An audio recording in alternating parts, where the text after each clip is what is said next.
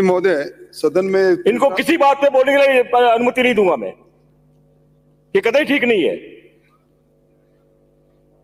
आप ये चाहते हैं हाउस को हाईजेक करके आप जो है, जो मर जाएँगे बोलेंगे आप, हाउस में। इतनी महत्वपूर्ण विषय पे चर्चा हो रही है। अच्छा लगता पूरा राजस्थान आपको जानता कि राजस्थान में आप जो है, शिक्षा में क्या नवाचार करने जा रहे हैं। क्या आप जो है, आप अपने नया संदेश देना चाह रहे हैं? विराजिए आप, विराजिए। विराजिए। विराजिए आप। मान्य सदस्य अपने अपने कई अनुशासित रखे अपने सदस्य को। अच्छी परंपरा ही नहीं है ये। हर बात में बोलना हर बात में भी अपने इंटरवीन करना। बहुत वरिष्ठ सदस्य हैं। 1990 से आप मेरे साथ हैं। ये सीखा आपने इतने वर्षों में। क्या संदेश देना चाहते हैं? जो नए जो लोग आए हैं क्या संदेश देना चाहते हैं इनसे आप? अभी भी वक्त है। मानी राठौड़ सभापति महोदय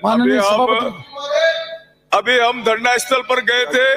और धरना स्थल पर जो बात माननीय मंत्री जी ने कही वो पूरी तरीके से झूठ कितनी निकली। होगा? सुबह भी सरकार ने गुमराह किया और वहाँ धरना स्थल पर बैठे लोगों ने भी ये बताया कि हमारी मांगे पूरी नहीं की गई है। तो अब सरकार गुमराह कर रही है।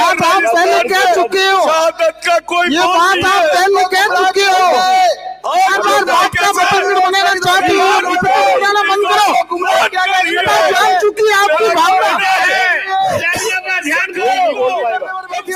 आपको देख चुके हैं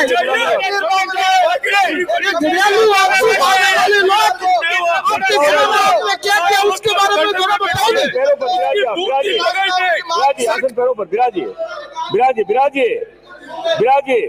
आसन पैरों पर विराजिए आप आप विराजिए एक बार विराजिए आप विराजिए विराजिए विराजिए विराजिए विराजिए विराजिए विराजिए आसन पैरों पर है विराजिए कुछ परंपराएँ सीख लीजिए। विराजिए विराजिए प्लीज़ प्लीज़ विराजिए आप। क्यों उत्तेजना फैला रहे हो मान्य सदस्य।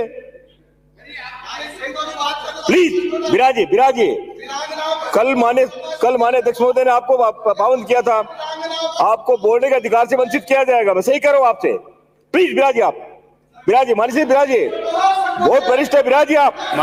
विराजिए विराजिए प्रतिपक्ष के महोदय इसकी चाबी रखो। विराजिए विराजिए आप विराजिए प्लीज़ एक मिनट सुनिए आप मैं मैं आपसे बात करना चाह रहा हूँ। जितने भी मान्य सदस्य बोलने वाले हैं आप यदि ये चाहते हैं उनका वक्तव्य नहीं हो तो आसन को कोई एतराज़ नहीं है। आसन सीधा मंत्री जी को रिप्लाई के लिए बुलाएगा। मंत्री अपना रिप्लाई देगा और हाउस एडजर्न होगा। मैं बिल्कुल अलाउ नहीं करूँगा इस तरह से। क्या तरीका है ये? बेवजह उत्तेजना फैला रहे हो।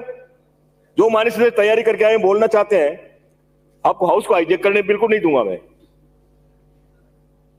आगे से ध्यान रखें। सब्जेक्ट पे बोले ज़ीरो पे मान्य सदस्य मैं आपको फिर पाबंद कर। रहा हूँ राठौर साहब, मैं आपको पाबंद कर। रहा हूँ मान्य सदस्यों को बोलने के अधिकार से वंचित करूँगा मैं।